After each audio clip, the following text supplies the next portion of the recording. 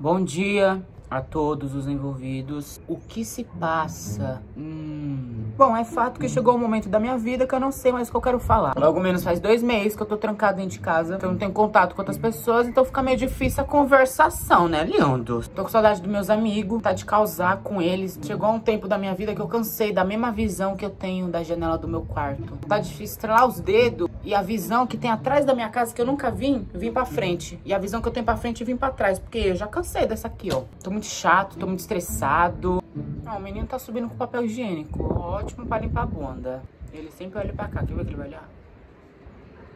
Quase olhou, não olhou não. É bom que não olhe pra cá mesmo. Hoje é dia. Nem sei, galera. Eu também nem tô preocupada em saber.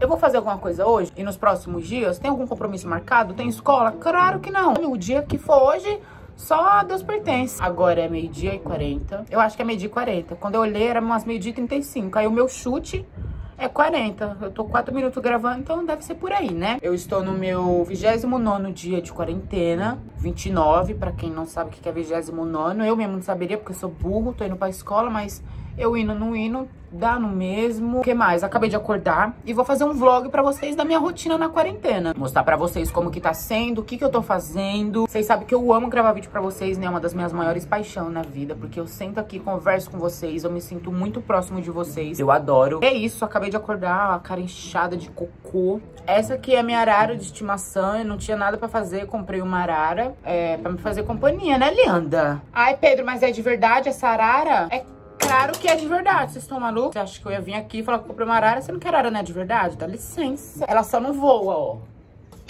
Ui, cabeça dura, hein, fofa? Mas ela é uma arara assim, olha aqui.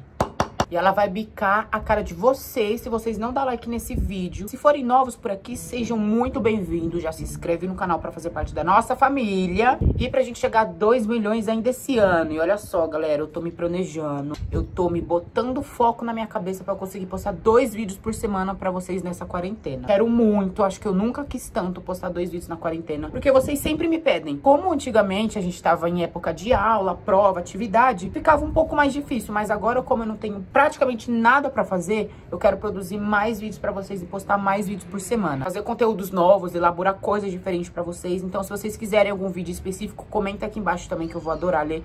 Ó, eu queria falar pra vocês que meu cabelo tá impossível, logo menos vai fazer dois meses que eu não corto ele. Mas até tudo bem, eu gosto do meu cabelo grandinho. Fica tão feio. É porque o pezinho fica todo torto. Eu fico com uma cabeça de megamente. Fora que meu cabelo já não tem uma das melhores consistências, né, meu povo? Aí você pensa, cabelo grande, meio duro, parece uma plantação de bucha. Primeiramente, eu venho aqui no banheiro, lavo minhas mãos, né, principalmente agora. Eu toquei naquela arara suja, imunda, podre, nojenta, encardida, suja, imunda, horrenda. Eu, quando pego o ranço de alguém, Galera, já vai fazer o quê? Um ano, um ano e meio. Não sei, mas já faz bastante tempo que eu peguei o costume de lavar o meu rosto quando eu acordo e usar um sabonete específico. Eu sempre gostei da minha pele lisinha, gostosinha de bebê que eu tinha, sabe? Depois que eu comecei a entrar na fase da puberdade, da adolescência, os 15, 14, 16 anos, minha pele foi mudando muito, foi ficando bem judiadinha, com muita espinha, com muito cravo. Minha cara virou um carrasco, galera. E eu fiquei muito bolado, cara, porque eu gostava da minha pele, eu não tinha muita espinha, era gostosinha, sedosa. E aí eu comecei a usar um sabonete pra espinha, é a Sepsia. Não, esse vídeo não tá sendo pago, mas eu uso ele toda manhã. Toda vez que eu quiser lavar o rosto durante o dia, eu uso ele. E eu senti que diminuiu minha espinha muito. Enfim, galera, mas de uma coisa eu sei também que as espinhas não vão sumir. A gente sempre tem uma outra, principalmente que eu tô na fase da adolescência, por verdade. Meu corpo vai mudar muito. Então sempre vai ter uma espinha ou outra.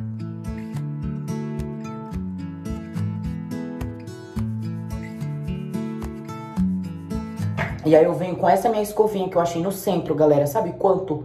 12 reais. E ela, assim, é muito boa, faz a limpeza total do seu rosto. Nessa parte aqui que tem umas esponjinhas de... meio que de silicone, ela faz a esfoliação da pele. E é muito bom esfoliar a pele, galera, pra tirar o excesso de pele morta. E essa parte aqui tem os cabelinhos, que é pra você fazer a espuma, pra você limpar mesmo o rosto. E você encontra essas lojinhas aqui, galera, no centro da cidade de vocês deve ter. Sabe aquelas lojinhas de japonês, de coreano? Sempre tem essas esponjinhas aqui por lá. Já lavei meu rosto, agora eu vou pegar a toalha e vou secar. E uma dica que eu dou pra vocês, galera, é sempre secar o rosto assim, ó. Eu sei que é maravilhoso a sensação, depois que a gente lava o rosto, pegar a toalha e vir É muito bom, só que isso pode causar muito problema pra nossa pele. Pode causar linhas de expressões, pode dar acne, sua pele pode ficar irritada, com vermelhidão. Então a gente tem que fazer o um mínimo pra gente não ficar velho mais cedo, né, meu povo? Depois de lavar o rosto, galera, é sempre importante a gente passar um creme. Ou eu uso esse Nivea Men aqui, que ele é muito bom, ele é 4 em 1, ele é rosto, pós-barba, mão e corpo. Ou eu uso esse daqui da Clear Skin, e, e ele é um creme mate, não é aqueles creme que você passa na cara, parece que passou óleo, sabe? Este creme matificante ajuda ajuda a eliminar as imperfeições causadas pela acne, deixando a pele com aparência li livre de brilho durante o dia todo. Então hoje eu vou passar esse aqui.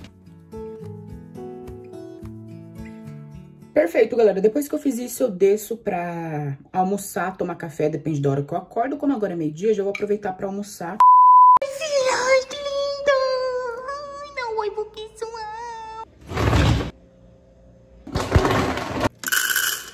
Nem sei se filmou. Filmou? Meu Deus. Assim que eu acordo, galera, eu já tenho que tomar esses dois remédios aqui, que são pra quê? Eu falei pra vocês lá nos meus stories, inclusive, quem não me segue, bora me seguir lá, viu, queridos? Estamos rumo a um milhão por lá, caramba. Primeiro link da descrição. Eu falei pra vocês que eu tava acordando bem enjoado pra ir pra escola, com ânsia de vômito. Daí eu fui no médico, ele me receitou esse remédio, mandei fazer. E agora eu tô tomando, tem que tomar por 30 dias. E tudo mostra que eu estou com o início de gastrite, mas eu tenho que fazer endoscopia e ultrassom pra ver se é isso mesmo. Ó, já tá quase acabando. Como que eu vou tomar isso aqui 30 dias? Ah, ele me receitou tudo errado, aquele velho. Fora que ele me deu mó esporro, galera. Mó bronca. Fiquei me sentindo muito envergonhada. Contei tudo pra vocês lá nos stories. Nossa, galera, isso ajuda muito. Eu testei isso ontem. Você colocar o remédio, beber água e fazer assim, ó. Mano, o negócio desse, você nem vê. Oi, amor, gostoso. Você tá menino? Agora eu vou almoçar, queridos, ó. Arroz, feijão, filé de frango e batata doce.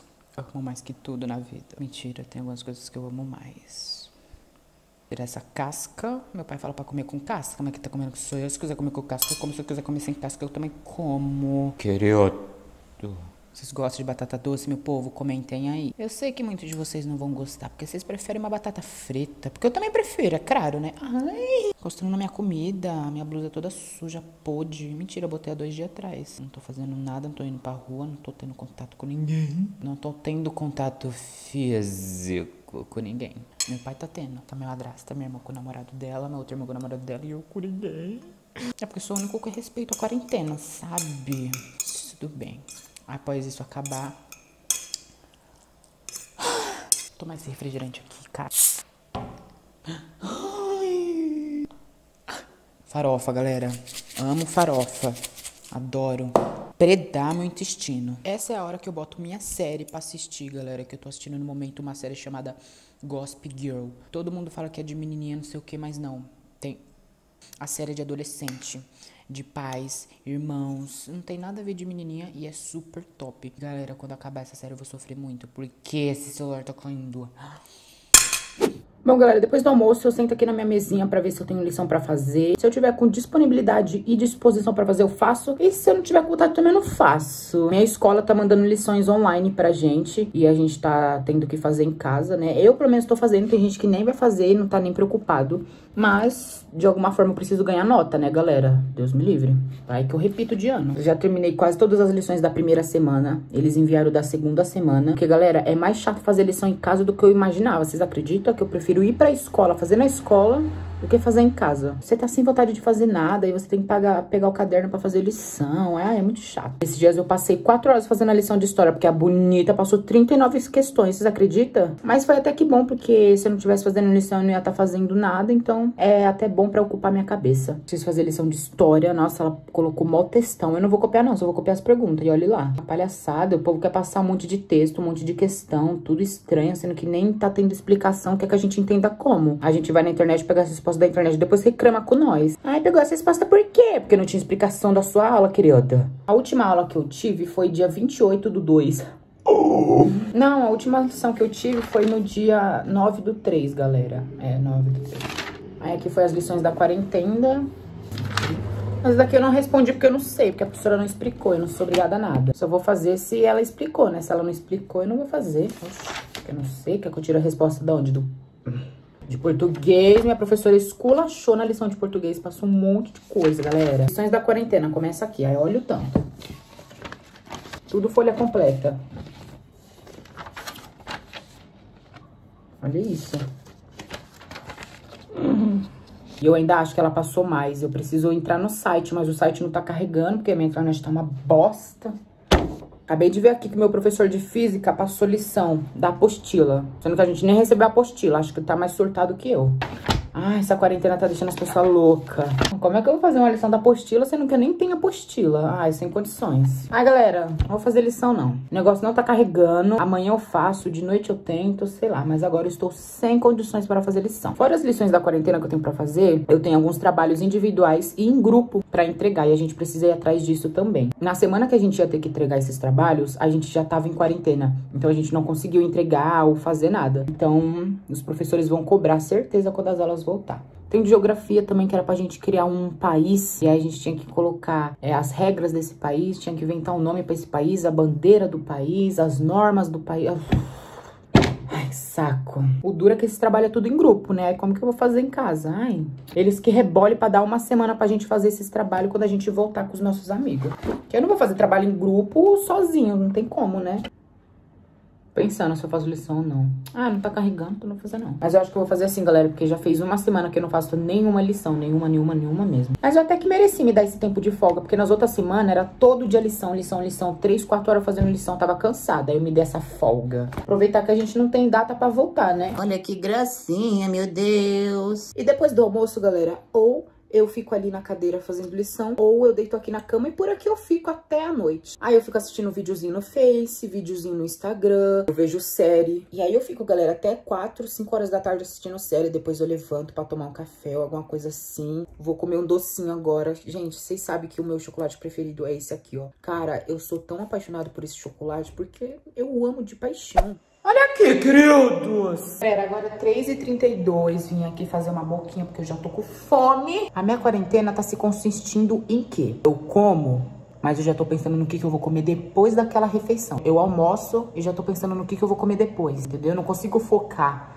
no que, que eu tô comendo ali. Eu tô comendo ali pensando lá na frente, o que, que eu vou comer depois? O que será? Enchi uma garrafinha de água pra me subir, pra me comer lá em cima. Adivinha o que, que é isso? Uh! Torta de frango.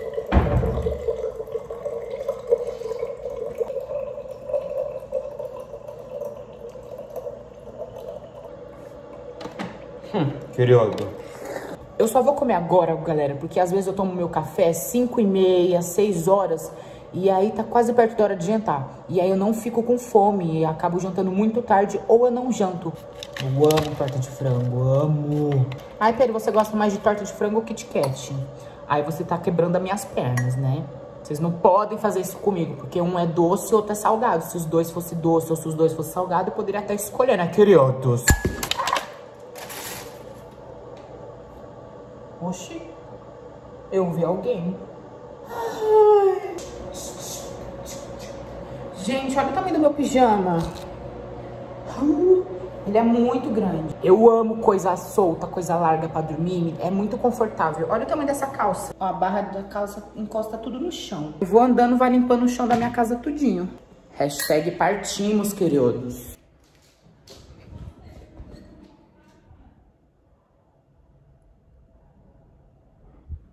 Não consegue com a mão? Vai com o pé. Sem querer. Mentira, foi sem querer não. E se eu quiser que fosse, que não fosse sem querer, a porta do quarto é minha, dá licença. Enfim, galera, meu pijama é enorme, olha isso. Mas eu amo esse pijama, meu pai fala que é roupa de defunto. Eu olho pra cara dele e falei, querido... Ó, galera, nem comi meu Kit Kat ainda. Comprei um monte de besteira. E sabe o que, que eu fiquei mais passado ainda? Que isso aqui já venceu. Validade 10 do 3. A gente tá no mês 4, queridos. Nossa, é mês 3, não é mês... Pera... Janeiro, fevereiro, março, abril. Já faz um mês que isso aqui venceu. Eu vi a validade disso aqui ontem e eu achei que tinha passado só quatro dias, porque hoje é 14 de abril, entendeu? Só que isso aqui venceu em março, então eu falei, ah, quatro dias que venceu, tudo bem, mas isso aqui já venceu há um mês. Será que eu como ainda? Ah, não sei. E comprei Fini, galera. Eu amo isso aqui, dentadura. Nossa, cara, eu sou apaixonada. Comei assistindo série, nossa, tudo. Bota ali atrás da cama, venho com a almofada, bota em cima pra ninguém ver. Agora eu vou ligar a TV, ver se o Wi-Fi vai colaborar com a minha cara, né?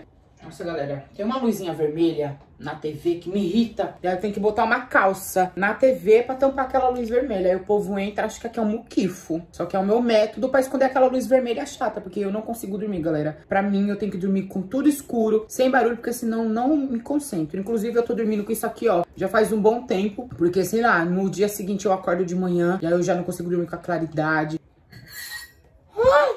Vocês querem, queridos? Essa aqui é de frango e requeijão, galera. É muito boa. Certeza que na hora que eu editar esse vídeo eu vou ficar com vontade de comer. Por isso que eu não vou acabar essa torta até eu editar esse vídeo. Aí se me der vontade, eu desço e pego. E se eu acabar com a torta? Não vai ter torta pra eu comer durante o vídeo, entendeu? Vai, carrega, por favor. Vai, Wi-Fi. Com... Eu não cobiçarás a mulher do Essa não é hora para cavalheirismo, Sr. Dez. Cala a boca, garoto. Você se fingiu de padre só porque a outra te contratou. Seu imundo. Afinal, eu tenho poder superior ao meu lado. Então vamos. Oi, galera. Agora é exatamente 6 e 13 Tá escurecendo. Fiquei deitado desde que eu peguei a torta lá embaixo pra comer. Tava assistindo série. Criando coragem pra levantar e tomar banho, lavar o cabelo. Galera, levantei. Agora é 6h57 e eu vou tomar meu banho, trocar de roupa, lavar o cabelo, tirar a barba. É igual eu falo pra vocês direto lá nos meus stories, que eu não quero barba por agora. Eu até tento deixar crescer pra ver como fica. Tipo, galera, cresce tudo errado. Em vez de crescer tudo pra ver se eu gosto, cresce só aqui e aqui no meio, ó, aqui não cresce, fica tudo falhado, fica horrível. Fora que eu tenho cara de criança, né? Barba com cara de criança não combina muito.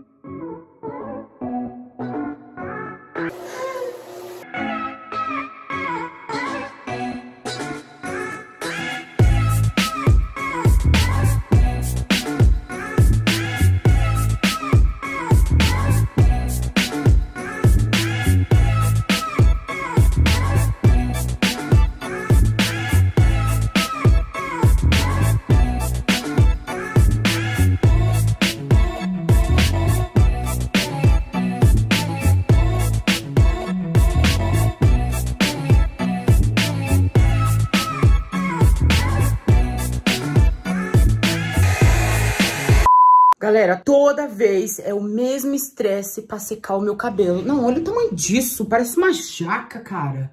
Ai, que ódio. Aí sabe o que, eu faço pra resolver meu problema? Põe uma touca. Cara, nossa, não vou aguentar mais três meses com esse cabelo, não. Preciso cortar urgente. E esse negócio aqui... Eu juro que eu tô tentando descartar essa possibilidade de eu cortar o cabelo dentro de casa, porque lembra da outra vez que eu cortei com vocês? Ficou uma bosta. Estraguei meu cabelo todinho, ficou tudo torto, horrível. Aqui ficou me menor, aqui ficou maior, parecendo um, um ninho. Enfim, vou passar esse, esse pós-barba aqui, como eu tirei minha barba, eu vou passar. É bom porque acalma e refresca, e é super gostoso. Saco de cabelo, ai, eu odeio reclamar das coisas, mas as coisas não colaboram também. Aí eu venho com esse hidratante aqui da Niva, vou passar em todo o meu rosto, porque eu falei pra vocês hoje de manhã que toda vez que eu lavo meu, meu rosto com sabão em pedra, meu rosto fica meio ressecado. E durante o banho eu também lavo meu rosto com sabonete asepsia, galera. Então eu passo aqui pro meu rosto não ficar ressecado. Hidratante labial, não sou obrigada a nada. Ai, como eu odeio gente mentirosa. Ai, que ódio. Esse hidratante labial aqui da Carmed, meu povo, eu amo. É muito bom. Só falar que não vai pronto, ó. Vai pra porcaria. Caguei, eu que lute. Nasci sozinho, vou morrer sozinho. Passei um álcoolzinho 70 aqui, galera, na minha mão pra, sei lá, matar qualquer tipo de merda, de germe que tem na minha mão. Se quiser beber também, pra fazer uma limpagem do seu estômago, ai, vocês que lute. Tô estressado por causa do meu cabelo e eu que rebole.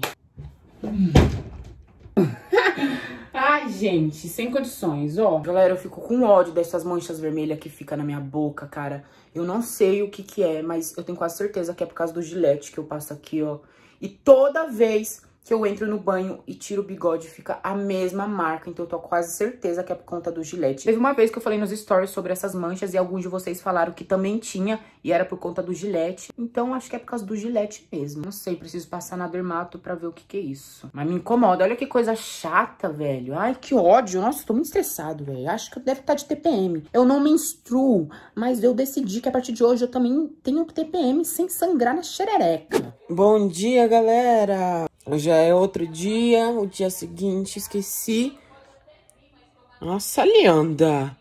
Um auge é eu acordar com a altura da voz da Luciana, porque a bicha fala alto, olha. Já, galera, esqueci de encerrar o vlog pra vocês ontem à noite, mas eu não fiz nada de importante. Eu só assisti a novela Fina Estampa, que eu tô viciado, e assisti Big Brother também. Ai, mas tô com sono. Agora é uma hora da tarde. Gente, não aguento mais essa história de... Ai, que saco. Do lugar que a gente vai é isso. Liga a TV é isso. Sai na rua é isso. Ai, não aguento mais. Quero logo acordar desse pesadelo, sabe? Nossa, como eu quero, cara. Nossa, galera, hoje eu sonhei que eu ia pro Egito.